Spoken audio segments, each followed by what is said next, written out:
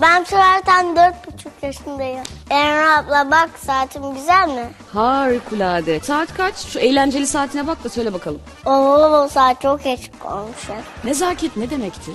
Nezaket kız ismidir. Bizim konuşmamızın adı nezaket. Yavrum başka bir anlamı daha olabilir mi onun? Yani böyle nazik olmakla alakalı olabilir mi? Olamaz. Nazik nazik bir isim olarak kullanılmaz. Ama nezaket isim olarak kullanılabilir. Nazik olmak ne demek? Nazik olmak benim gibi beyefendi olmaktır. Tuğra löpür löpür yemek ne demek?